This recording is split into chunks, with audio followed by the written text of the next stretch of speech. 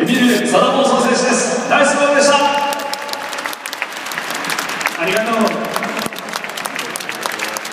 残りゲームが今日入れて3試合となったところで初めてこのベセスタのヒーローインタビューということになりましたがどのような気持ちですか？Yeah, of course, I'm very happy for the victory. We needed this one, and uh, I see so many faces on the on the supporters, and everyone is happy. And this is what uh, football is about.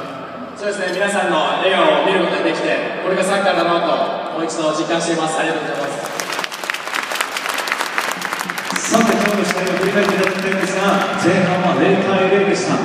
どちらが先に点を取るか、後半、アビスパはここ2試合先制されて、追いつきはしましたが、勝てませんでした。非常に先制点が大事になってくる中で、63分、エビル選手の素晴らしいゴールが出ましたね。あのシュートを振り返ってください。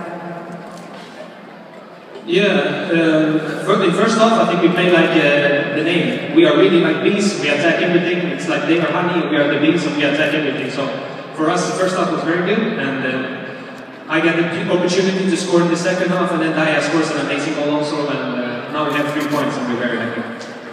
そうですね、まあ、前半をチームとしてすごくいいスタートを切ることができて、やりたいプレーだったりとか、激しくいくところもすごく出せることができたと思います。で、後半に自分にいいチャンスが来て、それをうまく決めることができたのもありますし、ダイヤが最後にもう1点決めることができたので、すごく良かったと思います。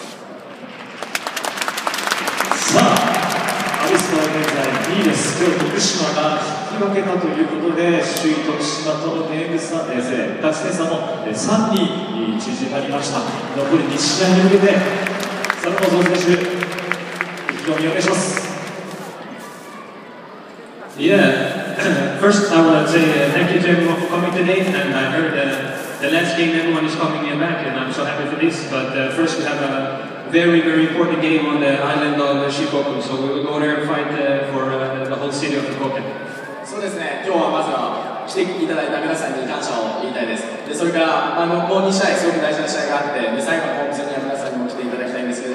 まずは四国で自分たちが行ってそこで勝ち取るってことがすごく大事だと思うのでこれからも毎年よろしくお願いします。